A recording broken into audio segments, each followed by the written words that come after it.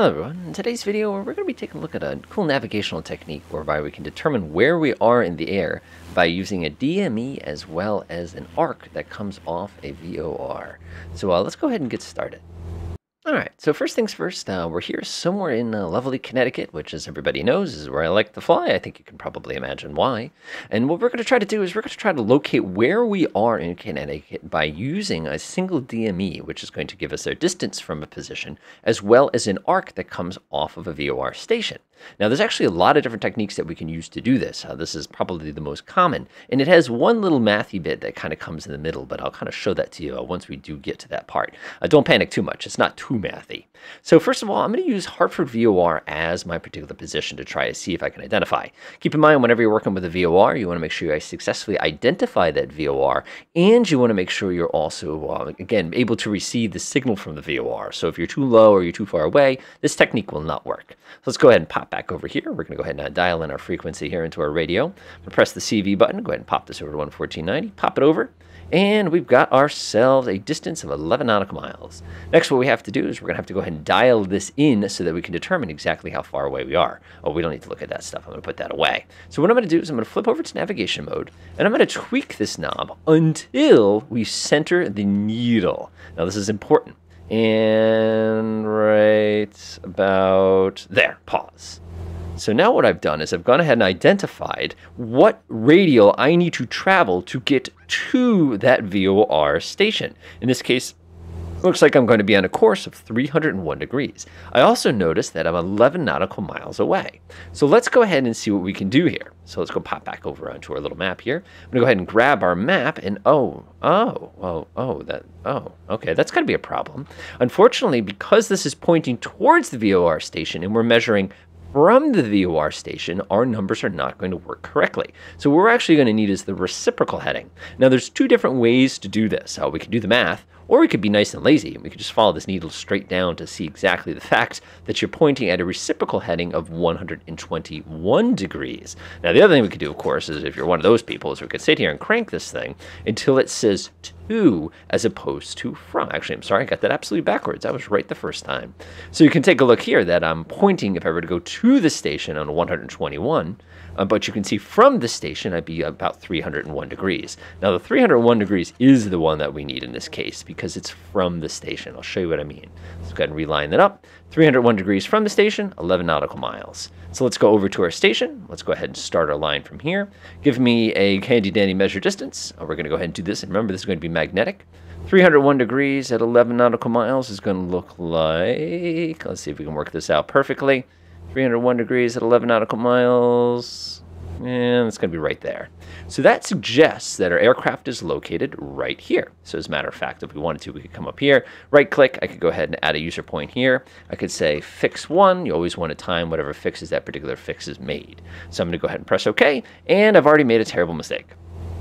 Now you're probably sitting here going, um, well, you, you, corrected that um, issue with the reciprocal law. What mistake did you make? Well, let me go ahead and show you where I actually am. Let me go ahead and pop the thing on. Boop. And you'll notice I am not where it says I am. Now you're probably sitting there going, well, there's always going to be inaccuracies. I mean, the DME is only so accurate and the radials are only so accurate as well. You're absolutely correct, but we actually have multiple problems for using this technique. Uh, the first one is whenever you're using DME is that you are using what they call slant distance. Um, if I wanted to go ahead and get my Microsoft Paint out real fast, all right, so whoop, this is where we are. This is the DME station right here. This is us in the air. DME actually measures this distance. It does not measure this distance. Because of that, we have to actually take this into account, which is going to be our altitude. Now, the nice thing is all we've done is built ourselves a giant right triangle here. So we can see we know this distance is 11 nautical miles. Excuse my terrible handwriting. We don't know this distance, and we do know this distance. You're probably saying, wait a minute, how do we know that distance? Well, if we climb back into the simulator, we notice that we are at an altitude of 2,500 feet. So does it matter how far above the ground we are? Absolutely not. It matters how far above the ground the DME station is. So if I know I'm 2,500 feet, and I subtract the altitude of the DME station, which fortunately is not too, too difficult to get usually. Uh, let's see here. We'll go to my little VOR navigational aid. Uh, we should probably get something a little bit. Let's go ahead and get some information here, show information about it. We notice that it's in an altitude of 849 feet. That's all we need to know. Because now we can do 2,500 Let's go ahead and get my calculator real quick. Minus 839 feet means that there's actually a total height of 1651 above the station, which means if we pop back over here, we know that this is actually 1651 feet. So if we needed a more precise measurement, and again, precision really matters when you're going to be traveling longer distances, we just have to solve for a triangle. We got ourselves an A, we got ourselves a B, we got ourselves a C here. We already know C, we can go ahead and take C squared and go ahead and divide it by these components. If you're looking for a simpler way to do it, we could just pop over here online, dial everything in. So we know that our leg is 1651, and we know that our hypotenuse, uh-oh, it's 11. 11 nautical miles to feet. Let's go ahead and get it. As long as you're consistent, it does not matter. Which gets us a B, which is going to be our actual distance. We'll go ahead and dial that in here, is 10.99 nautical miles. I know you're sitting here going, um, that was a lot of work for about 1% more precision. And yes, it is a lot of work for about 1 more percent precision. But if you were an airliner at 36,000 feet, this wouldn't be a matter of 1%. This would be a matter of 13%, which is significant, especially if you're trying to make an accurate measurement. Now, let's demonstrate this whole problem again, but let's introduce a new problem that you're going to encounter. Let me go ahead and clean all my stuff up here real quickly. Go ahead. I have about a thousand calculators going at a time. And that's this very, very pesky problem we're going to have. And uh, I'll demonstrate it and see if you can figure it out first. So I'm going to go ahead and use Pawling. Actually, I'll use IGN, which is way over here, 11760 as my source of navigation here. Go ahead and unpause real quick. We'll go ahead and pop back over here. We'll do 11760. Switch. And notice, ah, we've got ourselves a signal. Again, we want to measure the two bearing here, which again is uh, going to be critical. So go ahead and point this thing nice and gently. Uh, it's going to look like this.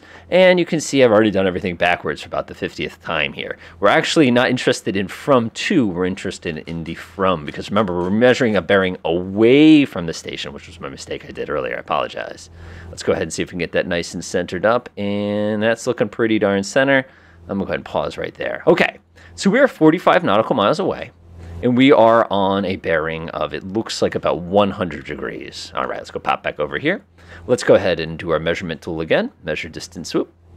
Go ahead and measure distance from here.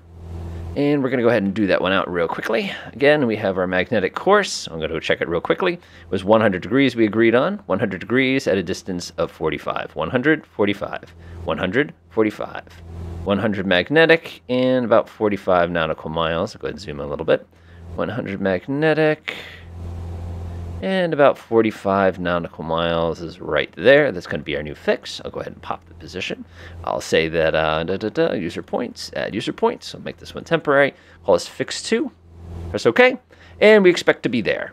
Okay, let's see what happens. That's actually a fairly accurate fix. Uh, usually I don't get so lucky. But here's the problem. Do you notice that this little arc here is starting to get a little wider? And keep in mind, the distance here is only 45 nautical miles. I'm not measuring this at 150 nautical miles.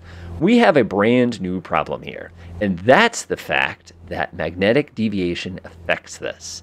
Now, in this part of Connecticut, our magnetic deviation is uh, 14 degrees west. In this part of New York, the magnetic deviation is 13 degrees west which means since VOR stations are based on magnetic headings, we actually have to assume whatever the magnetic heading is here versus the magnetic deviation over here, which would actually equal about a total of 1 degrees. As a matter of fact, it'll actually show you that here in Little Navmap, that there's a 3 degree magnetic difference across this entire arc, which means as this distance grows, your accuracy to this position decreases. Now keep in mind, this is actually not an accurate number, again, because of that pesky, like I showed you with the uh, Pythagorean theorem over here. But the good news is, the farther away from the station you are, the less effect altitude altitude is going to have on the precision of your position. So now I can go ahead and jump back in the aircraft, go ahead and unpause again, although I think I never actually paused. And you can see I'm just slowly making my way towards that destination. So again, this is a spectacular technique you can use to go ahead and triangulate, actually not triangulate your position, get yourself a very, very quick fix that works really, really well as far as, you know, determining distances as well as bearings. You know, if I needed to make adjustments now, I could then take another one five minutes from now and be able to accurately read that. Now, one of the cool things you can do is you can actually use a DME arc plus a bearing in order to determine where you are as well. But that's for another video. Enjoy.